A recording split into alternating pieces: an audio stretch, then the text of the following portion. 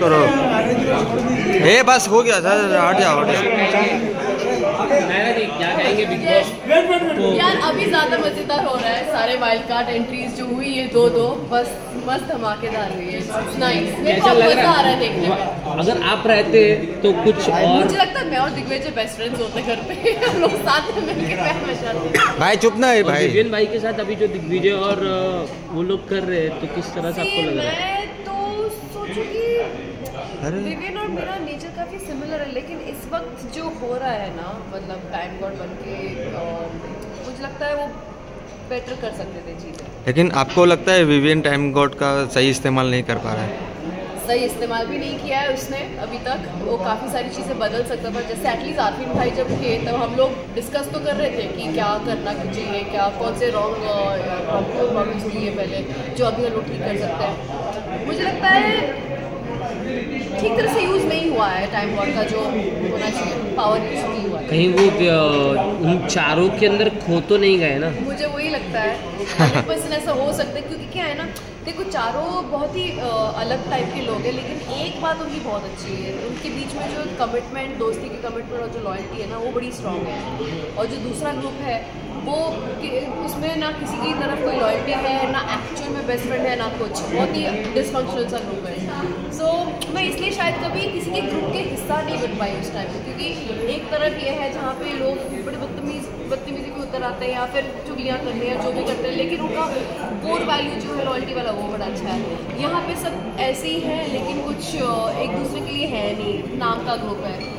तो मैं तो अकेले सोलो ही करती थी एंड उसमें भी एक अलग मज़ा है, कोई बात नहीं, मैं नॉमिनेशन में आ गई। मेरे को वो था कि मेरा थर्ड वीक में फुल जोन में थी and you know I was like पूरा मैं सबकी वाट लगाने में तुली थी बट मेरी ही वाट लग गई। लेकिन कहीं ना कहीं आप इतना जल्दी निकल गए किसी ने सोचा नहीं था आपने भी नहीं सोचा होगा। नहीं सोचा था। हाँ। मैंने खुद नहीं सोचा था कि मैं इतनी जल्दी सो निकलूँगी उसके लिए कितना क्योंकि अगर पाजी की बात करें तो पाजी अंदर है सारा जी अंदर है और आप आप ही सोच लो क्या हो रहा है मुझे तो नहीं पता। क्यों अच्छा, अंदर- यहाँ ऑर्डर नहीं आ रहा, पीछे आ होता तो जा मैं के। चीज़ें बात करती कि भाई क्यों हो और टाइम गॉड के अंदर अगर करण भाई को भी वहाँ पे थे तो करण भाई के साथ शिल्पा जी ने कितना पैर किया अनफेयर किया? करण भाई के साथ शिल्पा जी मतलब कहने को तो यहाँ पे दो बेस्ट फ्रेंड्स है, लेकिन वहाँ पे वोट जाता है। आप खुद ही सब कुछ, आप सब लोग को सब कुछ पता ही है कि क्या हो रहा है यू नो इनफैक्ट मुझे तो शिल्पा जी से इतनी इतना ज़्यादा गुस्सा आ चुका है। पहले हफ़्ते मुझे बोलती है कि नायरा जैसी बहू मतलब a very nice wife material या डॉक्टर मटेरियल या यू नो तुम्हारी तो शादी बहुत ही अच्छे लड़के के साथ होगी, क्योंकि तुम इतनी गुलमान हो किचन विचन का सब कुछ करती हो। और तीसरे हफ़्ते में मेरे को ये बोल के नॉमिनेट करती कि मेरा आपके साथ कोई बॉन्ड नहीं करण मीरा के बोलते हैं, हमारी वाइब मैच नहीं हुई वाइब मैच इसलिए नहीं हुई क्योंकि मैंने आपकी जो, आप जो लाइन में बोलते हो या जो करते हो, उसको मैंने भाव नहीं दिया। तो ऐसी काफ़ी रियलिटी है, जो काफ़ी सारी रियल सच है, जो आपको पता नहीं इस दिन करेंगे। सो so, इस बार अभी आप बाहर तो आ गए अभी किसको सपोर्ट कर रहे हो? अभी फ़िलहाल देखो सपोर्ट की बात नहीं है। क्या होता है ना किसी इंसान किसी सिचुएशन में एक इंसान सही कर जाता है वो सेम इंसान दूसरी सिचुएशन में बहुत तरह गलत कर जाता है। तो मैं सपोर्ट नहीं कर रही हूँ क्योंकि अभी तक किसी का वो अच्छाई नज़र नहीं आया है जिनके जिनके ऊपर हम बोल सके ये एक अच्छा इंसान है लेकिन इस सिचुएशन में बंदा गलत कर रहा है। ये वाला सेंटेंस हम आप तक अब तक तो किसी के लिए नहीं बोल सकते। तो मैं कहूँगी कि सपोर्ट के नाम पे मैं सुश्रुतिका को सपोर्ट करती हूँ एटलीस्ट वो बेझिझक सेफ़ नहीं खेल रही है। उसको जिसके लिए जो बोलना है वो सच में बोल रही है। वो बच के नहीं निकल रही है या फेवर नहीं कर रही है या कुछ छुप नहीं आ रहा है। कंधों पे बंदूक रख के गोली नहीं मार रही है। वो कर रही है अपना जो कर रही है। बस मेरे वही लगता है। थैंक यू थैंक यू आइए नायरा जी। आइए। नायरा जी आगे आ जाइए। पता नहीं जब तक सीज़न चालू है तब तक कुछ नहीं बोल सकते। यहाँ आगे लेते ना आगे ले लो। आ जाओ आ जाओ आ जाओ। फ़ोटो करने दो हाँ, सर को पीछे पब्लिक सर को फ़ोटो करने बोलो नायरा जी। नायरा जी।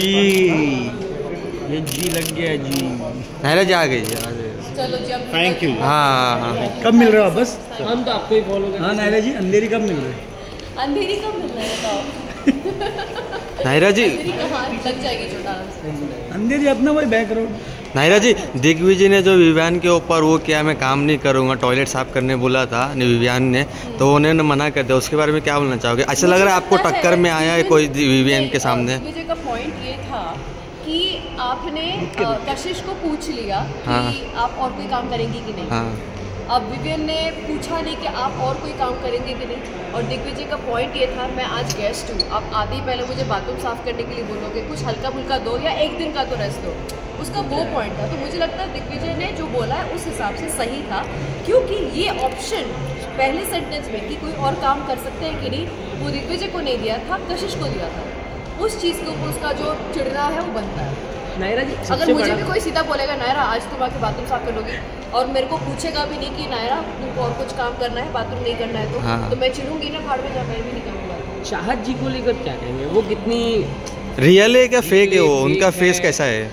क्योंकि वो जिस तरह दिख रहा है उस तरह कहीं वो रियल भी लग रही है कहीं वो फेक भी लग रही है। आप अंदर थे आपने किस तरह उनको देखा से देखो ऐसा है जहाँ तक मैं चाहत को जानती हूँ घर के अंदर से ही मैं उनको जानती हूँ। पूरा दिन वो ऐसे बस शांति बैठी रहती है। हाँ। और बहुत ज़्यादा बात नहीं करती है किसी से भी अकेले रहती है। कभी कभी हम सब लोग बैठते हैं तो आकर हमारे साथ बैठ जाती है चाहे कोई बुलाए या ना बुलाए। वो उनका नेचर है और वो उनकी स्ट्रेंथ भी है कि आके वो बैठ जाती है। बट जब कोई उंगली करता है तभी वो भड़कती है। बट वो उंगली के लिए विवियन भाई और अविनाश ये दोनों के पास ही जाती है ज़्यादा करके उनका झगड़ा उनसे ही होता है। क्यों? और कोई नहीं होते हाँ, मुद्दे में। किसी के साथ नहीं होता है क्योंकि और कोई बेसिकली चाहत को उंगली करता भी नहीं है ना। चाहत बैठी रहती है यहाँ वहाँ मतलब कोई उसका बात करने का मन करे तो बात करते हैं उसका बात करने का मन नहीं करे तो चुपचाप बैठती है हमारे बीच में।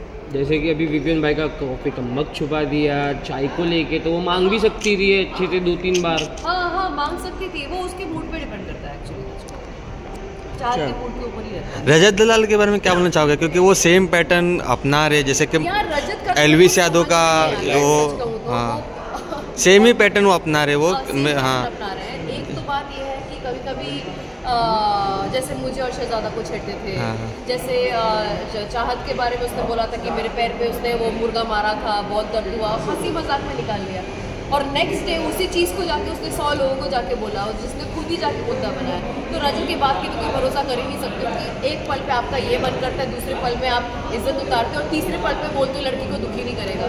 मेरे को तो समझ में नहीं आता। आपको लगता है रजत दलाल गलत उसमें आ गए कंटेस्टेंट में? रजत दलाल का प्रॉब्लम ये है कि वो सच्चाई के रास्ते पर चलना चाहता है, लेकिन उसका जो डर है ना कि लोग उससे बात नहीं करेंगे। मुस्कान के एपिसोड में हुआ था ऐसा, कोई घर का कोई भी इंसान उससे बात नहीं कर रहा था। मतलब वो लोग, वो चार लोग उनसे बात नहीं कर रहे थे, क्योंकि मुस्कान को इसने नॉमिनेट किया था गेट आउट वाला नॉमिनेट कर दिया था। तो उस चक्कर में रजत बड़ा दुखी हो गया था कि मुझसे कोई बात नहीं कर रहा है। बहुत मायूस हो के मेरे और मेरे शहजादे के साथ आके बैठ गया तो वो बेचारा उसको करना सही चीज़ है क्योंकि वो यहाँ पे नाम साफ़ करने आया है। और इस डर से कि लोग मुझसे बात नहीं करेंगे वो बड़ा इधर उधर हो जाता है। वो खुद का एक अगर आप- रास्ता नहीं चुन पाता। अगर आपको वाइल्ड कार्ड में वापस बुलाया तो कैसे बुलाएँगे एक बार गए तो है। एक बार अरे फिर तो और भी ज़्यादा मज़ा आए क्योंकि देखो एक तो है कि अब बाहर से देखने के बाद मुझे सारे सारे लोग के असली चेहरे सामने पता हम्म। चलेंगे। अंदर से इतना पता नहीं चलता है क्योंकि अंदर अब हर जगह पर नहीं होते हो। आप इधर चाहे कुछ बात करो यहाँ पे कुछ हो रहा है उधर भी कुछ और हो रहा है। तो आप उधर प्रेजेंट नहीं हो। आपको नहीं पता कि बाकी लोग हर जगह क्या कर रहे हैं। जब आप बाहर आके एपिसोड देख कर आते हो सारी सच्चाइयाँ देख लेते हो आपको पता होता है कि कौन सा इंसान क्या करने वाला है कितना प्रेडिक्टेबल है। तो अब ज़्यादा मज़ा आएगा क्योंकि मैं सीधा बोल दूँगी गुरु तो ये ये टाइम पे ऐसा ऐसा ऐसा किया था तेरी यही वैसे ही इंसान है। अच्छा बिग बॉस में कुछ स्क्रिप्टेड भी होता है या सब कुछ अचानक होता है? यार जहाँ पे ऑलरेडी एक लाडला है तो उसमें स्क्रिप्टेड की मैं क्या ही बात करूँ? हाँ हम लोग क्या कर रहे हैं? फैंस भी बहुत डिसअपॉइंट है क्योंकि वो ऑलरेडी कभी सवाल उठ जाते हैं कि स्क्रिप्ट आपको नायरा जी कहीं आपको लग रहा है टॉप टू में करणवीर और विवियान ही रहेंगे? आपको ऐसा लग रहा है मुझे ऐसा लग रहा है क्योंकि देखो लड़कों में अ, करणवीर और विवियान। करणवीर थोड़ा सा अभी आगे बढ़ रहा है हम्म। रजत थोड़ा बहक जाता है। करणवीर को मैं बहुत ताने मारती थी कि तुम सिर्फ़ ट्रिगर करके चले जाते हो।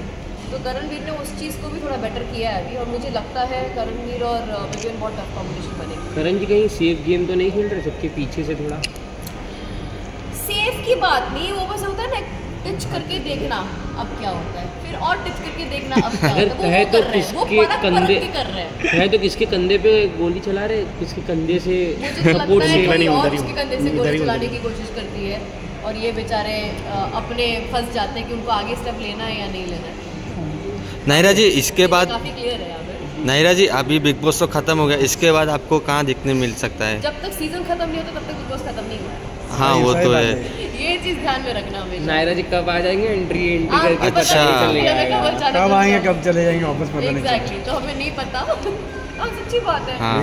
अब एक बात है देखो अब मैं जब सब कुछ देख के आई हूँ एक बार तो एलिमिनेट हो चुकी हूँ। अब फिर से जाके मैं अगर सपोज़ सबकी बात लगा मचा देंगे। तो सब ऑब्वियसली को वापस नॉमिनेट करेंगे ना। हो सकता है फिर फिर से सब होएँगे नायरा नायरा कुछ नायरा। नहीं हो सकता है चलिए। हम तो आपको चलो, घर में देखना चाहते हैं। हाँ तो हाँ में photo photo photo photo photo